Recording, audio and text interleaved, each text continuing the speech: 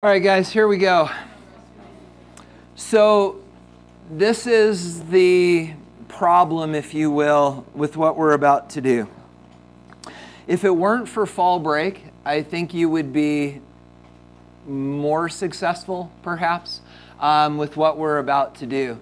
Because, guys, what we're going to do is we're actually going to wrap up a conversation that you don't even know we began all the way back on the 11th of this month.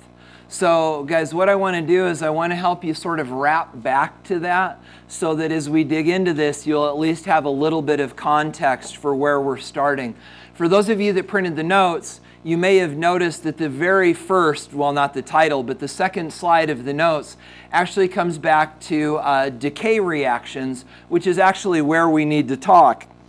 But, guys, the problem is, is that it was so long ago that I think that's not going to be enough. So instead, allow me to offer you this. So, guys, and again, test Thursday, right? So, this is not me just helping you get caught up with the thinking. This is also the stuff that you're going to see on the test. So, guys, you understand that that, that first day when we talked about uh, nuclear changes, we talked about fission, we talked about fusion, we talked about decay.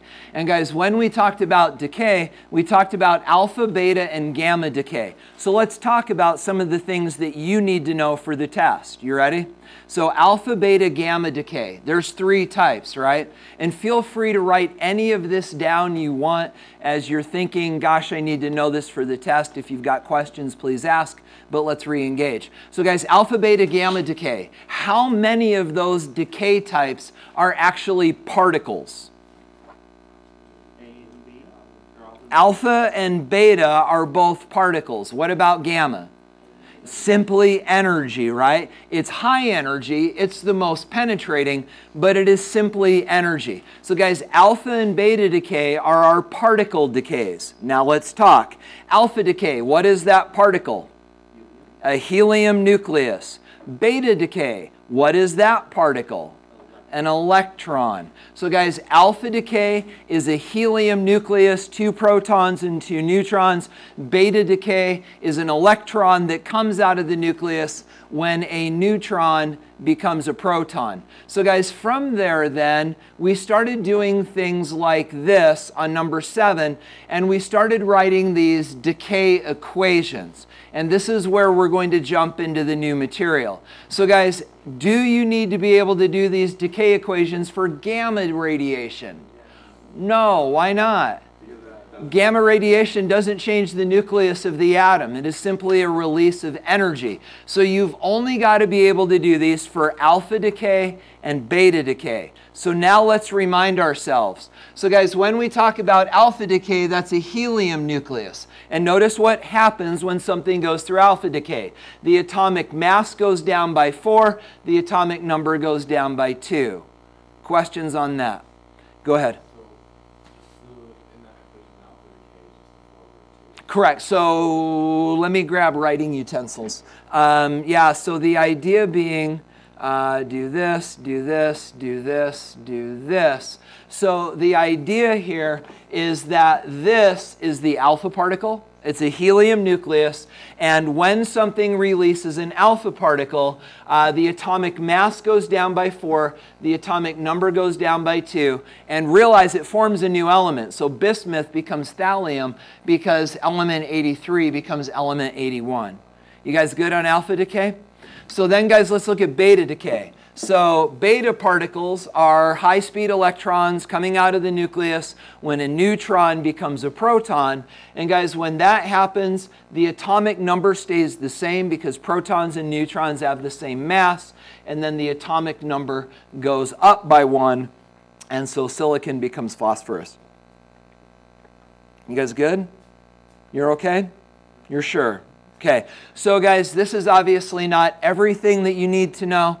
I would strongly encourage you to print the uh, study guide and make sure that you have a handle on that material. But guys, this is certainly a good start. So questions about alpha, beta, or gamma decay right now that you'd like to clarify? Yeah. No, so the letter C, you mean? So letter C, the, the difference was here they gave you, how was it different? Maybe, oh, I know what it was. They gave you this, and you had to identify the decay type. So atomic number stays, the, or mass stays the same, atomic number goes up by one, that's beta. So those are the only two you've got to keep track of. Is alpha, where the mass goes down by four, the number down by two, or beta, where the mass stays the same and the atomic number goes up by one. Is that okay? Go ahead. Yes. That, and so the answer is both. When we talk about these decays, you need to know what the particle is and what happens to the thing that's decaying. Just keep going.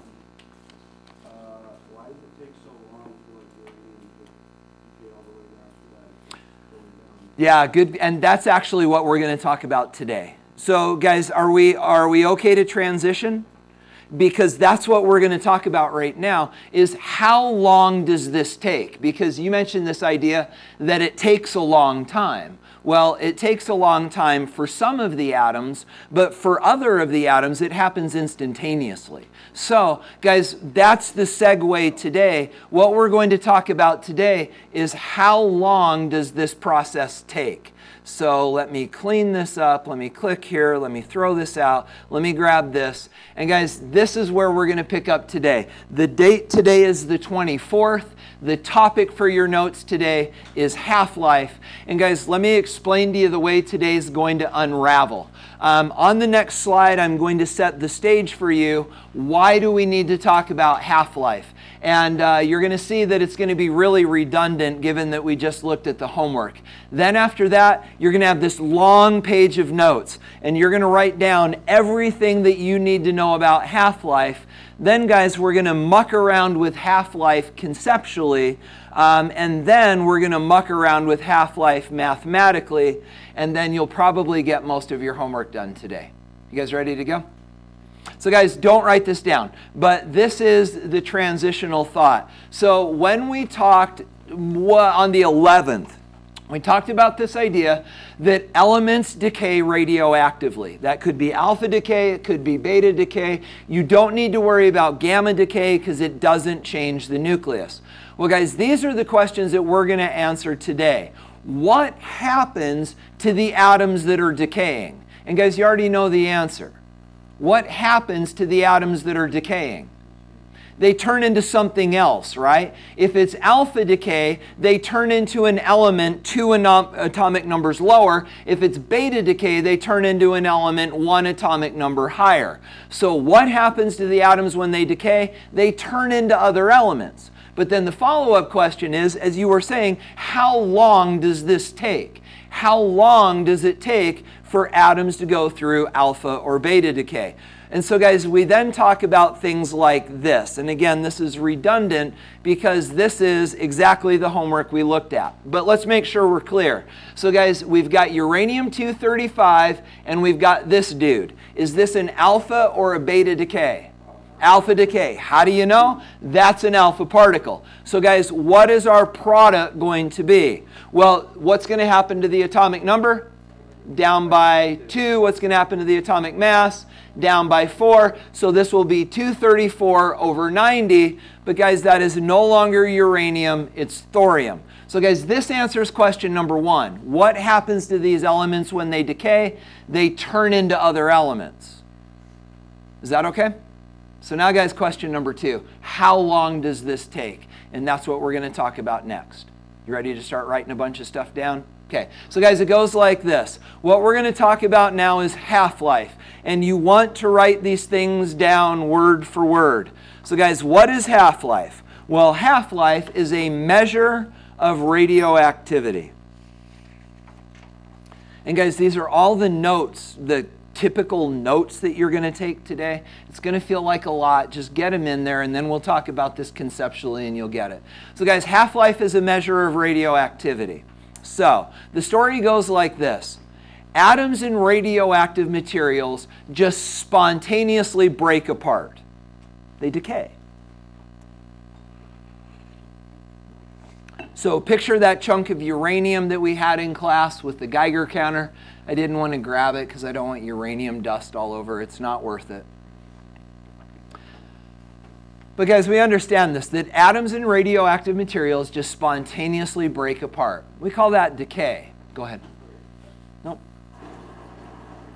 Now, guys, here's the problem it is impossible to tell. We can't tell when an individual atom will decay. There is no way to predict when that will happen.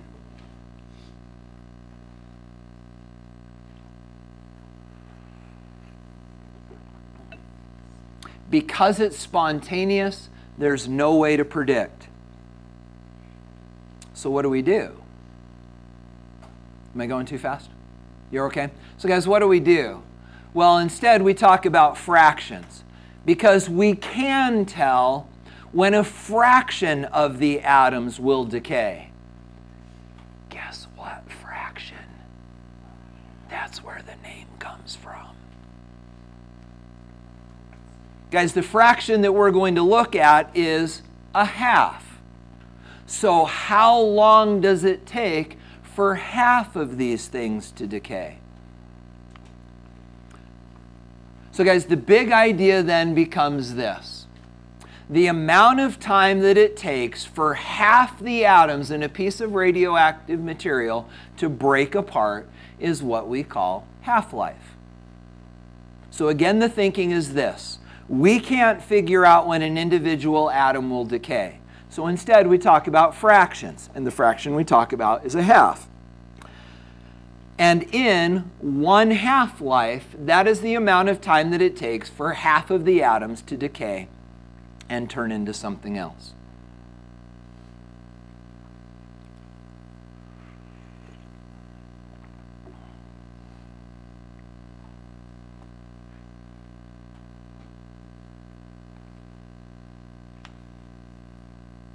You still caught up? You okay? Just two more lines and you're done. Actually, three. Three more lines and you're done taking notes. And then we're just going to play with this conceptually. You okay? Go ahead.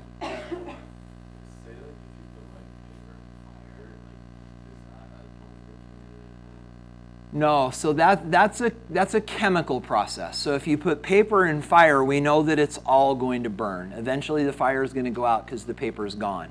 Um, that's not this. Um, they're, they're related, and my AP students hate the relationships because we have to describe them. But what you're talking about is something that goes to completion, and you're going to find out in a minute this doesn't. So it's, it's not, it, it, right now, don't try to tie the two together. It's going to get dangerous. So, guys, the last things you need to understand is this, and I think you do. So, when something goes through decay, where do the atoms go after they decay? Well, they don't just go away. After each half life, half of the original sample remains. But, guys, just to reinforce this, what happens to the other half of the sample?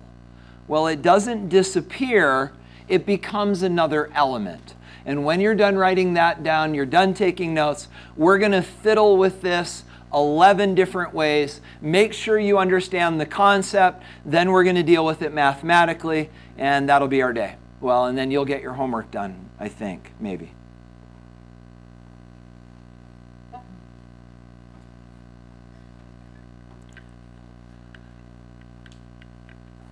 So, guys, what we're going to do is we're going to come at this concept from three different directions. First, I'm going to show you through a demonstration what this is all about. Then we're going to turn to a video to let you understand what this is all about. Then we're going to turn to graphical representations to show you what this is all about. And once you understand it conceptually, then we'll look at it mathematically.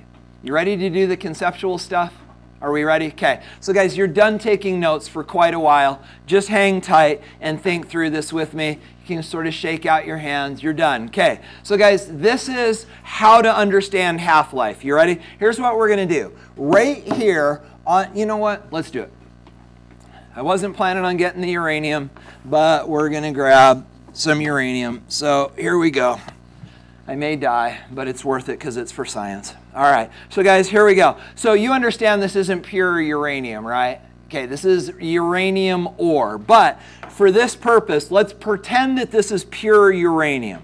So sitting right here, we're going to pretend that is a chunk of pure uranium, all uranium the whole way through. Now what we're going to do is this. We are going to say that this wall right here is zero uranium. All the uranium is decayed and turned into other elements. You get the idea? Okay, now guys, let, and this isn't true, but let's say this. Let's say the half-life of uranium is 10 years. Let's use an easy number. Let's say it's 10 years. So let's do this. So this is a timeline. So right here, pure uranium. Over there, zero uranium. And a half-life is 10 years. Ready?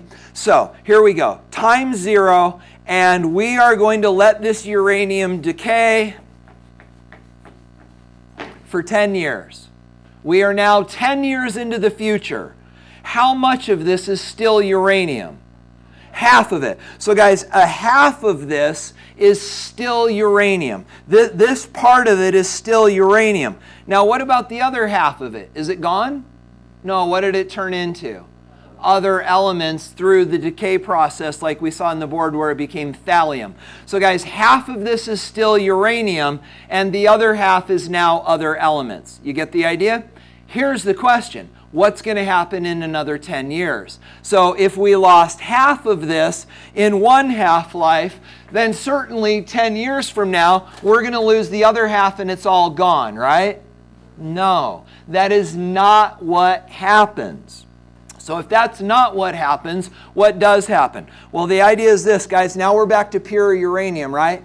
10 years later, how much of this is still uranium? Half. Now, what's going to happen in 10 years? We are going to lose half of the half. So, in 10 more years, we're going to move half of the half. And now, how much of this is still uranium? A fourth. And what about the other three fourths? Other elements. And then, what about 10 years later? 10 years later, I'm right here. How much of this is still uranium? An eighth and a sixteenth and a 32nd and a 64th and a 128th and a 256th and a 1024th and will I ever hit the wall? No. What do we call that mathematically? It's an asymptote. You will never get to the wall. Guys, because we can always take half of an ever decreasing half, and you will never completely run out. Because every half life, in this case 10 years, every 10 years, we're simply dividing it in half, in half, in half, in half, and you'll never get there. Does that make sense? But you don't like it, do you? It makes sense conceptually, but guys, really, we'll never get to the wall? Won't we ever get to the point where we've just got one atom left? And when that one atom turns into something else, isn't it all gone?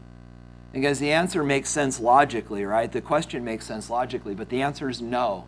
The reason is because even in this chunk of uranium, there's an uncountable number of uranium atoms. There's trillions upon trillions, and the universe isn't old enough for us to get to the point where there's literally one atom left. So practically, we will never run out because we don't have enough time for it all to go away. Do you get the idea? So, guys, that's the fundamentals of half life. Questions or things you want to talk about? Go ahead. Only the radioactive ones. And understand there are radioactive elements in that table, specifically carbon 14. So someday, thousands of years from now, Orem High School could become an archaeological site. It, the old one actually was. Um, and, uh, and, so when, and somebody could come along and they could dig up your table. And they could go, how long ago did they teach chemistry in this room? And they can actually take the carbon atoms out of the wood that makes up this table. And by finding out how much carbon 14 is in there, they can figure out how old the table is. That's, it's called radio, it's called carbon carbon-14 radioactive dating. It's how they date things from antiquity like the Dead Sea Scrolls and things like that. Go ahead.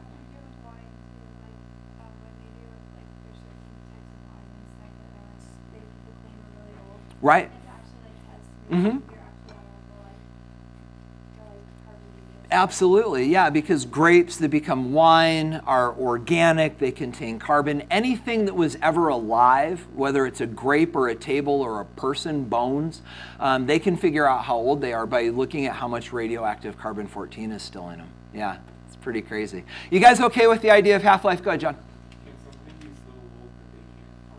No, and that's a good question. And well, we should be careful. Will let me let me twist your question. So John's question was, could something ever be so old that we can't carbon date it?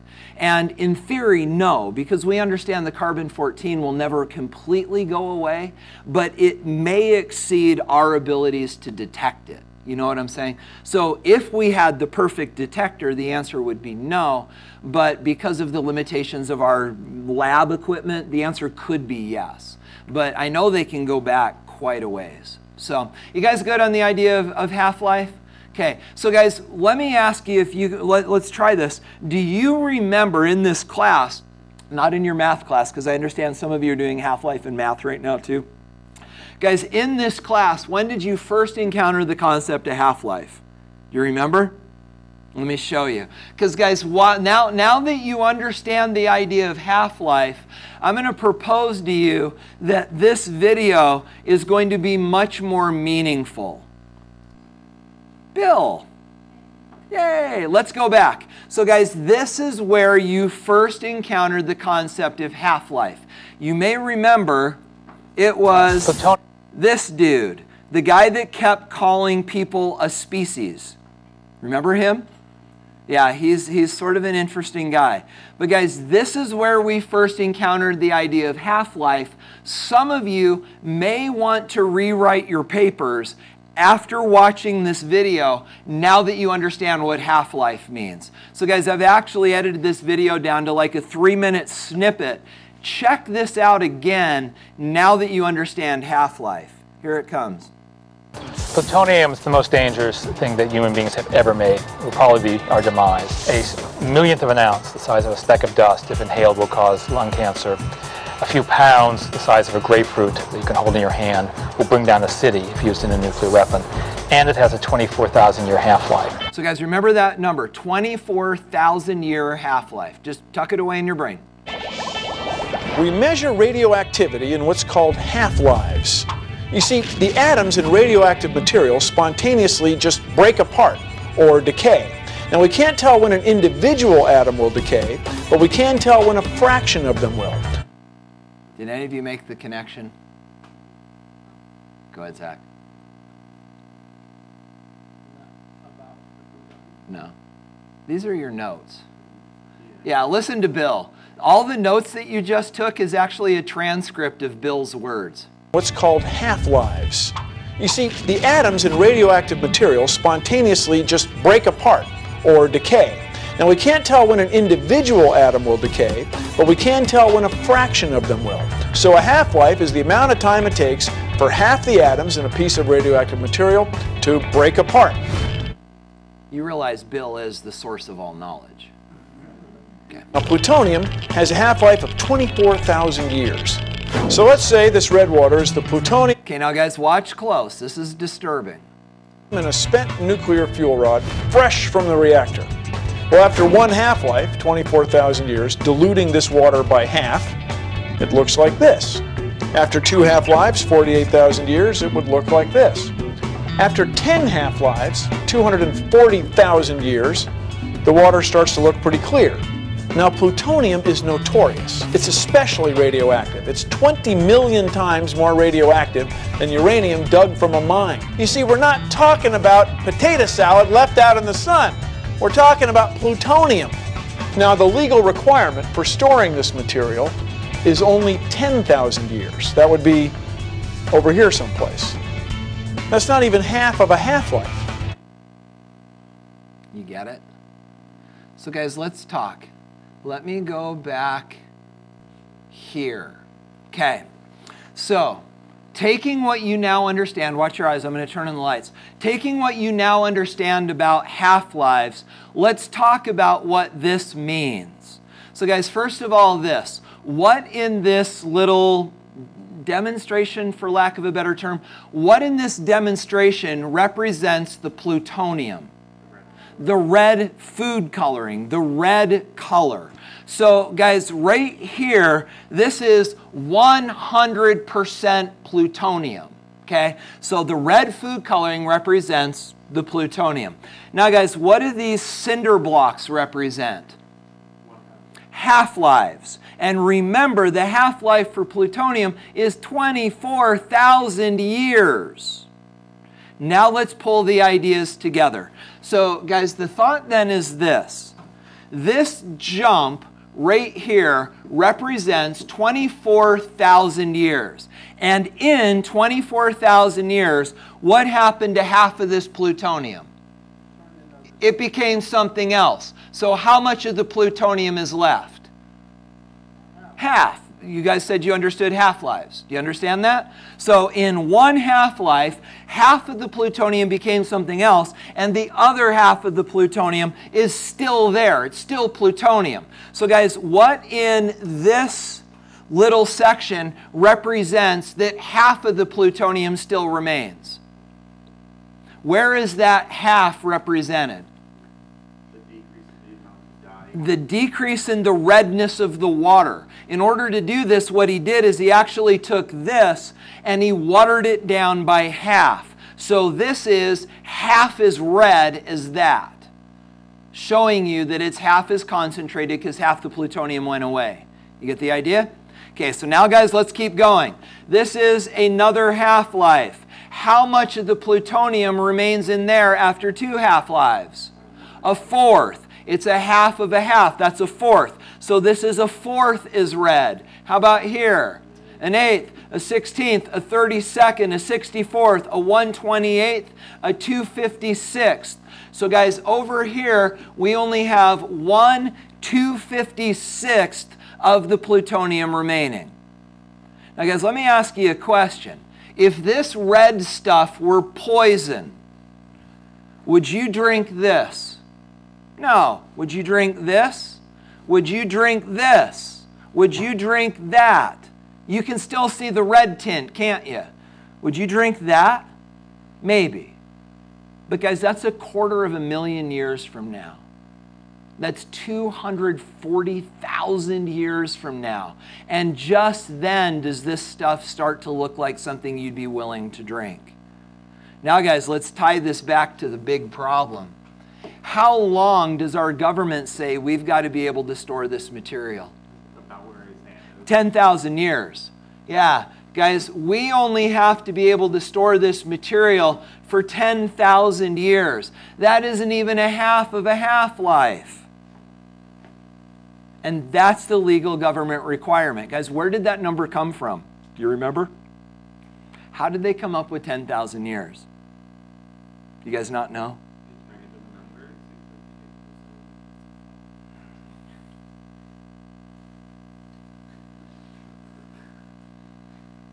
Do you guys not remember? John, we'll talk after class. Do you guys not remember? Because the answer is this the government showed that these containers began to break apart at 11,000 years. Is this starting to sound familiar?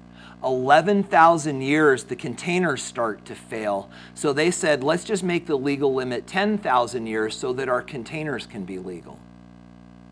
That's disturbing, y'all because they're saying the only place where this 10,000 year limit came from was they set their own guidelines so that they could say our containers are good. But guys, if you look at the science, 10,000 years is a joke.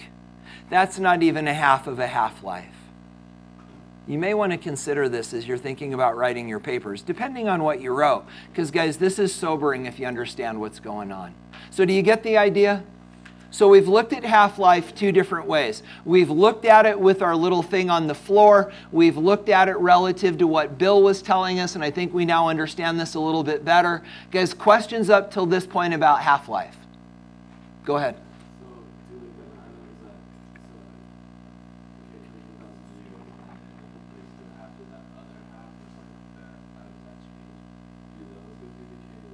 Yes, and that's actually I'm going to table that question for a second, but right. So if so if plutonium, this is crazy, right? If plutonium goes through alpha decay, check this out. So if plutonium goes through alpha decay, what does it turn into?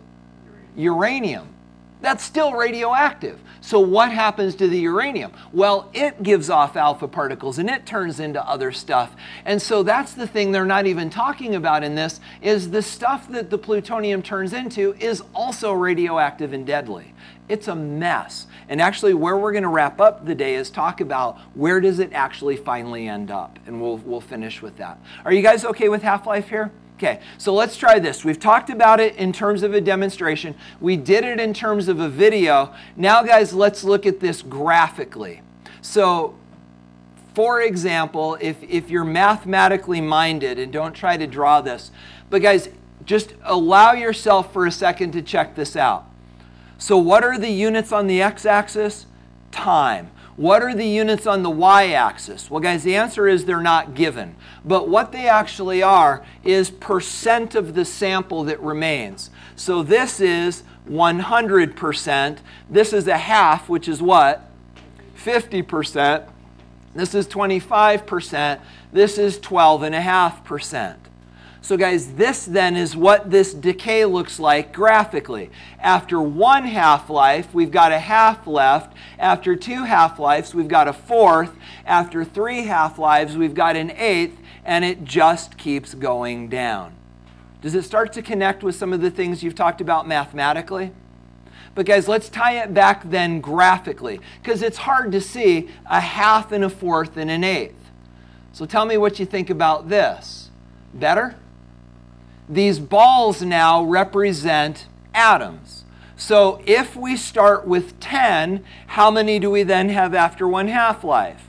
Five. After two half lives, two and a half. After another half life, one and a fourth. And it just keeps getting smaller. But guys, here's the question that I would ask you What's wrong with this? What's, what's missing from this depiction of how half life works? Say it again. Well, absolutely. First of all, we got to understand that this scales up into trillions of atoms. Because I, I, actually considered deleting this slide out of my notes. I pulled this in last night and I realized I didn't like it. Go ahead. Right, but if we, and I love that, and absolutely. So, guys, we understand that we can't have fractions of atoms, but if these represent millions, and actually that's what they're saying, that this actually represents millions of atoms, then we understand you can have fractions of millions. What else don't you like about it? I agree with Jane that this should be scaled up into the millions, but maybe it is. I agree as well that we can't have fractions of atoms. Anything else you don't like? Go ahead. Exactly. Guys, where's the other stuff? Where's the products? Where are these half million, well, half million atoms? Where did they go? You know the answer. Where did they go? They're still there. They're just something else. And guys, that's why I threw out this slide. I don't like it because it makes it look like you start with 10 million atoms and a half life later you've got 5 million atoms left and the other 5 million just disappeared. And what about where, where are all the rest of the atoms? Well, guys, they're still there. So then I found this and I like this better. Do you see how they changed it?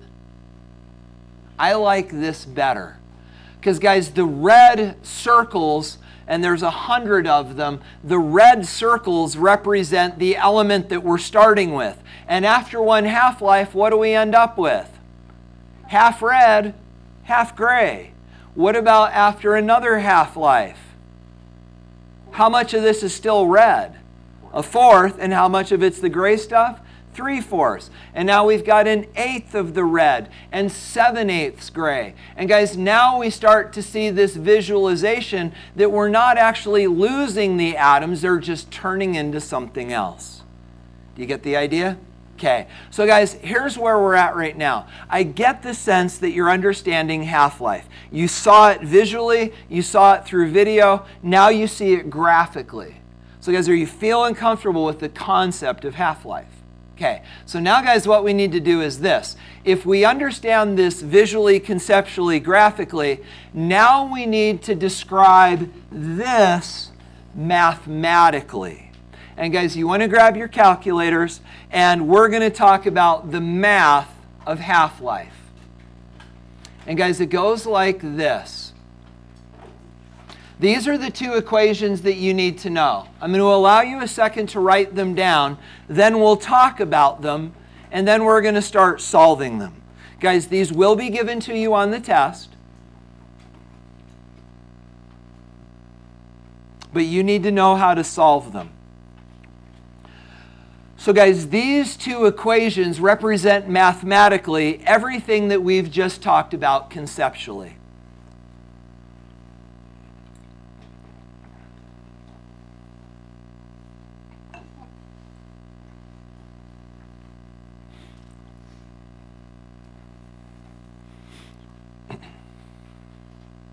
So guys, equation on the left says this. N, which as you can see below is the number of half-lives, is equal to the time that something sits around and the time of its half-life.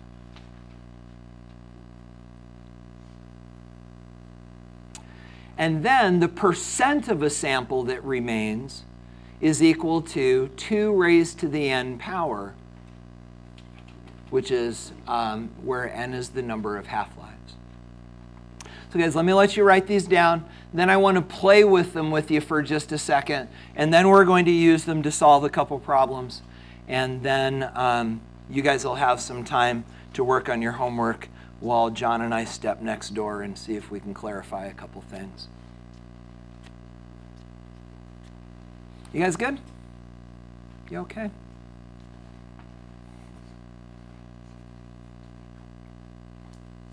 Okay, so guys, don't write any of this down, but let's talk just to make sure you're clear. So let's talk plutonium really quickly. Do you remember? What's the half-life of plutonium? 24,000 years. So guys, imagine this. So the half-life of plutonium is 24,000 years. If you have a chunk of plutonium that sits around for 48,000 years, how many half-lives did it go through? Two. What if it sits around for 96 thousand years. Can you do that math? How many half lives does it go through? Four. So all you've got to do is if you know how long the sample sits around and if you know how long a half life is, you do the division and it tells you the number of half lives. Get the idea? Okay, so guys, what about this? What if this sample sits around for 100,000 years and a half life is 24,000 years? How do you figure out how many half lives? Just do the division, right? But it's not going to be a whole number. because I won't do that to you on the test or in the homework. Your half lives will always work out to be whole numbers. You understand practically they don't have to, but the numbers that I give you will always work out to be whole numbers. Good? Okay. So now, guys, let's fiddle, out, or fiddle around with this one on the right. So now what we know is this. The percent of a sample that remains is equal to 1 over 2 raised to the number of half-lives. So guys, let's do this. This is number of half-lives, and this is percent that remains.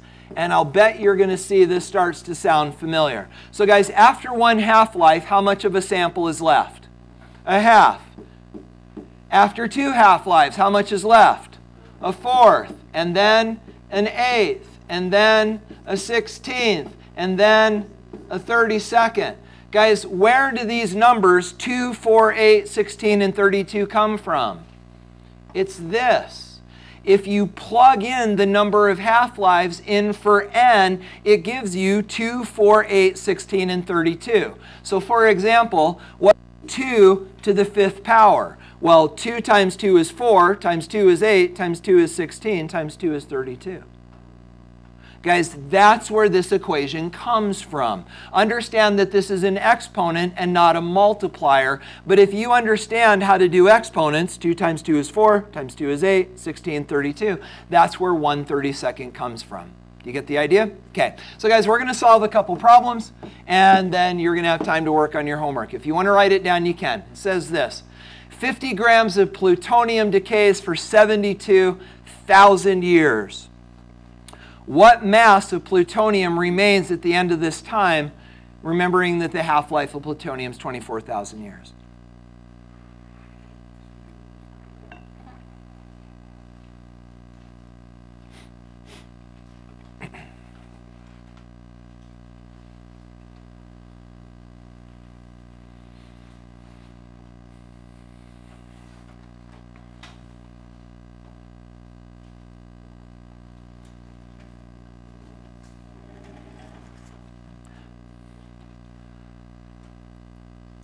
You guys ready to go?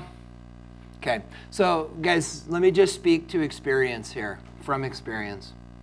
You're going to get into the middle of these questions on the homework and the test, and you're going to get so spun around. This one, frankly, is relatively simple. Um, the reason that I picked a simple one first is because I wanted to give you the opportunity to see the process. Eventually, you're going to find that these become muddled enough that, frankly, you're going to get lost in the middle of them. So, how do you avoid the confusion? Guys, write down equations every single time. This isn't me just saying, yes, you need to write down your equations. This is me saying you need to write down these equations because if you don't, you're going to get lost. So, guys, when you're solving these problems, discipline yourself to write down the equations.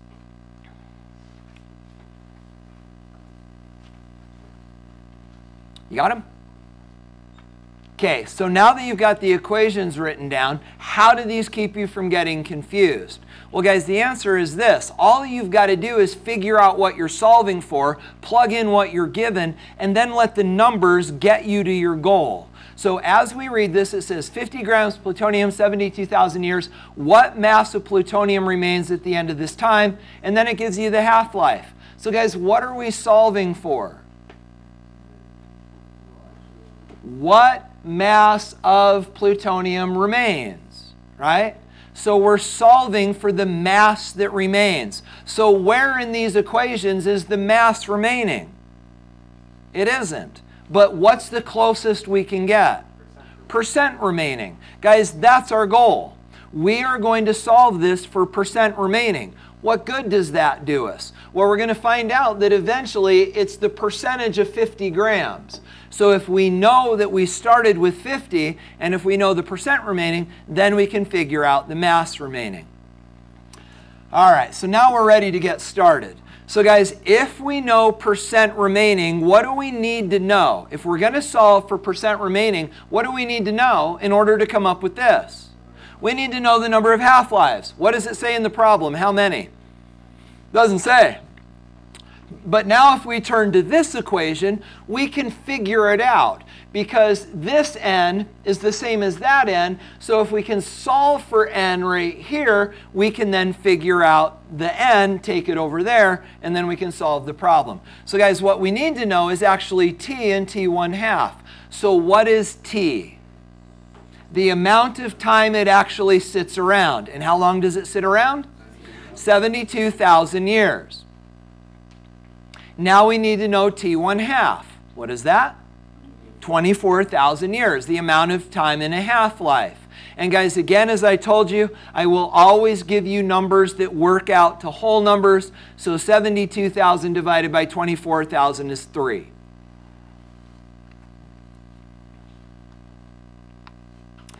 Now, guys, what do we do with the 3? Well, this 3 half-lives is that value for n. So what do we do? We go percent remaining is equal to 1 over 2 to the third.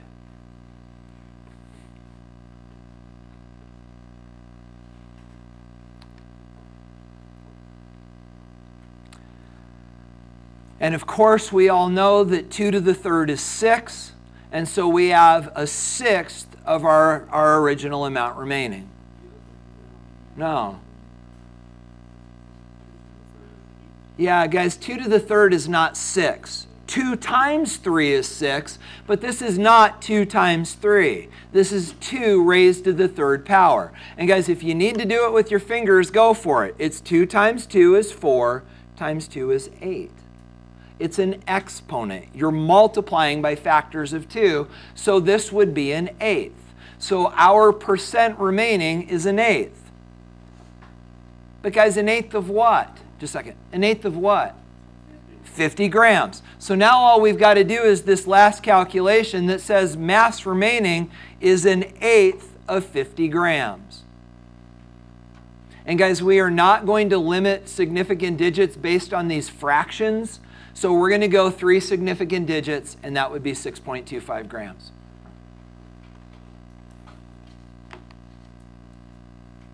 And guys, again, if you tie this back into what we just talked about, guys, 50 grams of plutonium is not that much plutonium coming out of a reactor. And 72,000 years later, we've still got more than 6 grams of plutonium left, and a speck of plutonium dust will kill you. That's bad. Alex, go ahead. What was your question?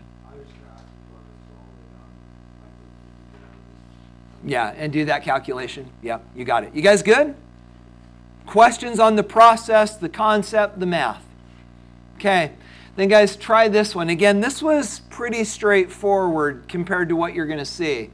This is as hard as it gets. This is the other end of the crazy spectrum. So, guys, it says 100 grams of molybdenum 91 decays for 60 minutes. At the end of this time period, six and a half grams of the molybdenum remains. What is, or I'm sorry, six and a fourth grams remains. What is the half life of the isotope? Kind of, yeah.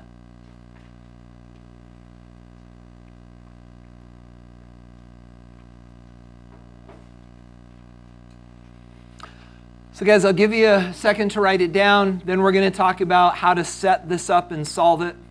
And then we're going to answer Calvin's question. And then we'll wrap up the day.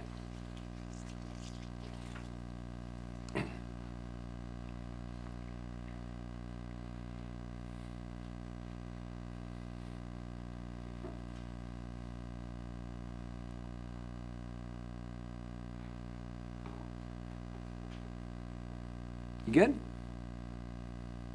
Not quite yet.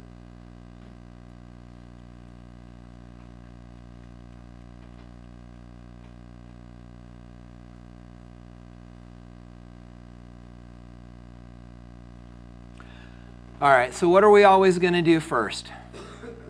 Write down the equations. So, guys, after the test on Thursday, when you find out that you have to do remediation because you got these wrong and these are essentials, um, the first question that you want to ask yourself when you find out you do have to come back for remediation is Did I write down the equations? And if the answer is no, you immediately have identified probably why you've got to come back. Write down the equations. All right, so guys, let's read. Very last sentence. What is the half life of the isotope? What are we solving for? The half life of the isotope. Guys, where in these equations is the half life of the isotope? In the first equation, in the denominator. That's what we're solving for. So, guys, if this is what we're solving for, what do we need to know? Well, we've got to know the other parts of this equation. We've got to know n and we've got to know t. Doesn't that make sense? In order to solve the equation, we need to know the other parts. So, guys, let's start to set this up. Do we know n? Does it tell us the number of half lives? It does not. Do we know t? Do we know the, the time this thing sits around? We do. It sits around for 60 minutes. So, guys, we know T, it's 60 minutes. We don't know the half life, so that's our X. That's what we're solving for. But, guys, in order to solve this, what do we need to know? We need to know n, and we don't. So we're going to replace that with a question mark for now. Yeah. That's what we're doing next, exactly. And that's why we're writing down the equations. And Alex, I like the way you described this, where you said working it backwards. Because really, given the way we worked the first problem, that's really what we're doing. Last time we started here, now we're starting there and going the other way. And you'll find that these interrelate in all sorts of ways. So guys, you understand what we're saying? We know that we know time, 60 minutes. We're solving for t1 half, which means we need to know n, but we don't know it. But guys, look what we do know. We know that we started with 100 grams, and we know that we ended up with 6.25 grams. And guys, that is a ratio, that is a percentage. And we can leverage that. And guys, this is the way we're going to do it. We're going to solve for n. But to do that, we need to know the percent remaining. And to do that, we set up this fraction. And guys, you may want to write this down next to your fraction. It is always small number on the top, big number on the bottom. Sorry, big doesn't look so good. But guys, it's always small number on the top, big number on the bottom. And what is that equal to? Well, that's equal to 1 over 2 to the n. Now, guys, for those of you that are mathematically minded, you may know that you can solve this equation using base 2 logarithms. But I'm not going to do that to you. How am I going to avoid having you do that? Your numbers will always work out evenly. So, here's how to solve this by avoiding logarithms. And guys, again, this only works because I'm picking nice numbers. Guys, what we're going to do is we are going to simplify this fraction. And in order to simplify the fraction, we are going to divide the numerator and the denominator by the smallest number, the 6.25. So what is 6.25 divided by 6.25? 1. What is 100 divided by 6.25? It's 16 and that is still equal to 1 over 2 to the n.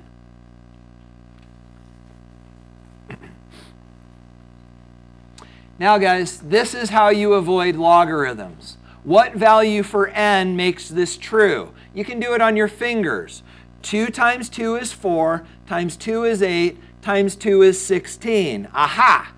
We found the number that we can plug in for n to make that equal to 16. 2 times 2 is 4, times 2 is 8, times 2 is 16. So what is n equal to? 4. So n is 4.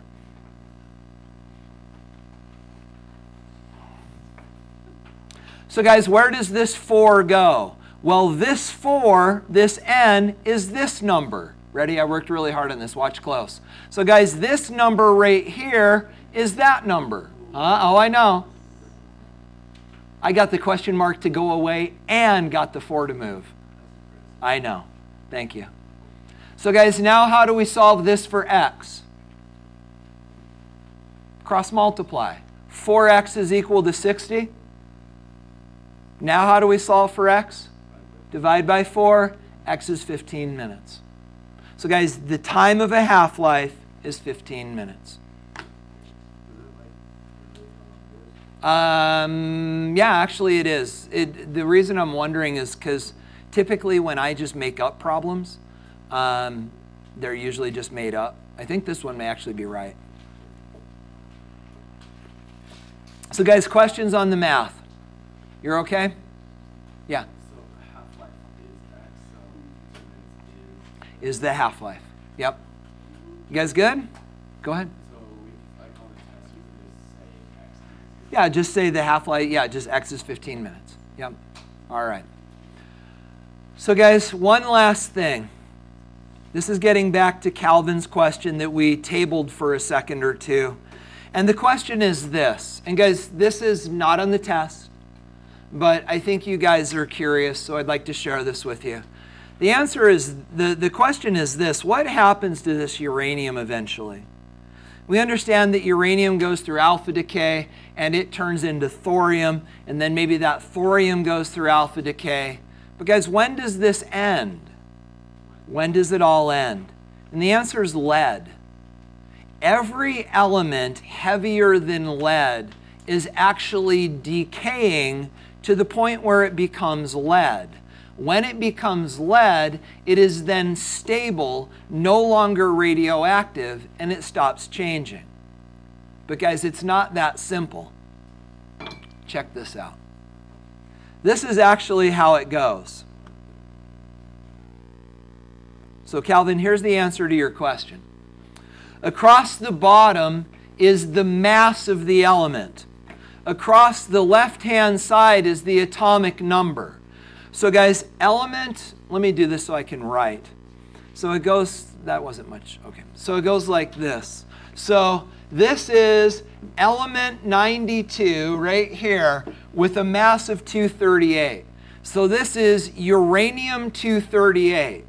And guys, uranium 238 goes through that kind of decay. What is that? Alpha decay. And its atomic number goes down by 2, and its atomic mass goes down by 4. And so this then becomes element number 90, which is thorium, and its mass is 234. It goes through that alpha decay. Well, guys, the question is how long does that take? Well, number one tells us that the half life is 4.5 billion years. That's about half the age of the universe. Then, guys, look at what happens next. This thorium does this, and it goes through that kind of decay. What is that? Beta decay. And the atomic mass does not change, but the atomic number goes up by one. And then that happens again, and it goes through another beta decay, and it turns back into uranium. But now the uranium's mass is 234. So how long does that take? Well, the first alpha decay has a half-life of 24 days, or beta decay, and the second beta decay has a half-life of 1.2 minutes. Happens pretty quickly. Then, guys, check this out. Alpha, alpha, alpha, alpha, alpha decay. This thing now goes through five alpha decays, and it goes all the way down to element number 82, which is lead. But guys, this lead is actually lead 214, and it's still radioactive. So then it goes through a beta decay and a beta decay, and it turns into element 84, which is polonium. Then it goes through another alpha decay, turns back into lead. Now its mass is 210. Then it goes beta beta, turns back into polonium. Then it finally goes through another alpha decay when it turns into lead 206. And now it's stable and no longer radioactive, and the game's over. But guys, look at the half-lives for some of these things. Some of them are on the order of milliseconds. Some of them are on the order of billions of years. We've got years, we've got minutes. But guys, this is the end game. This is eventually what that uranium does. So here's the question then. What's inside this chunk of uranium? All of these things. Because, guys, some of these atoms did this immediately, and they've already turned into lead-206 and they're done. There are some of them that are stuck here, and there are some of them that are on every step of the process. And so, guys, trapped inside this chunk of uranium are actually atoms in every point along this process. You get the idea? You see why, see why I sort of waited on your question, Calvin? But you, but you can do this for all radio element elements and figure out, figure out their, what their their eventual life life will will look, will look like. Just a second, just a second, go ahead. yeah, yeah.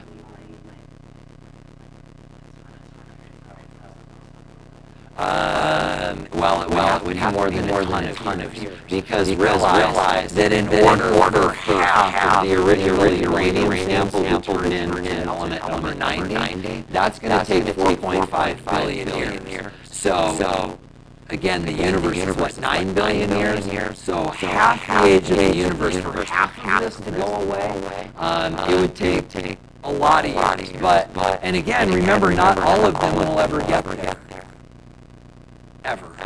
But we're all headed that direction. Just a second, Jessica, go ahead. Yeah?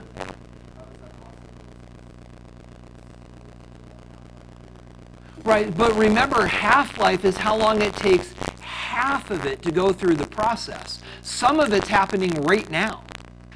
So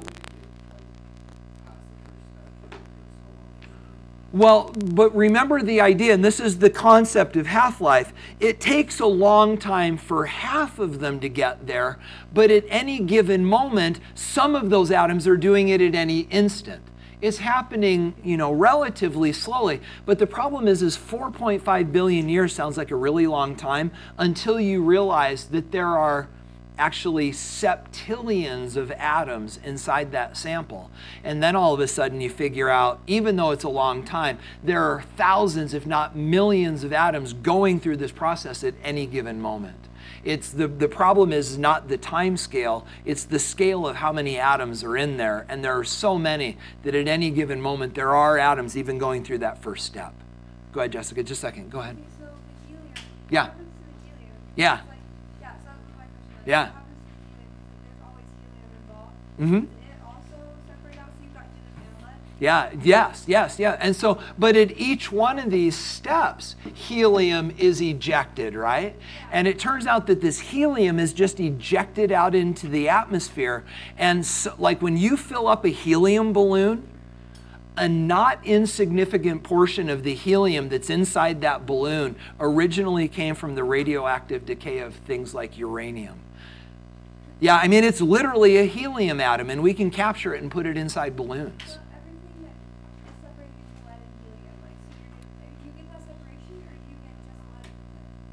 No, you get helium as well, a lot of helium. Yeah. Basically, like everything will end up, like theoretically, everything will end up with helium and lead. That's heavier than that's heavier than lead. So like if you took for example gold, element number 79, it's not doing this because it's lighter than lead, but everything heavier than lead, yes. So, like, uranium's heavier than lead, so it's turning back and forth. So Yes. happens to the ones that are lighter? Are they turning to something as well? It depends. Some so uranium. Remember uranium. Well, let's do that differently. Lead.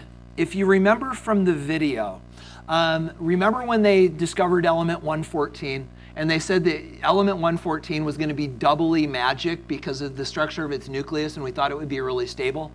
And lead is a group mate of that. So lead is also a doubly magic element that is hyper stable. What we were saying, like, in junior high, we were having, like, everyone wants to be the most stable it can be, like, the Right. gases. Mhm.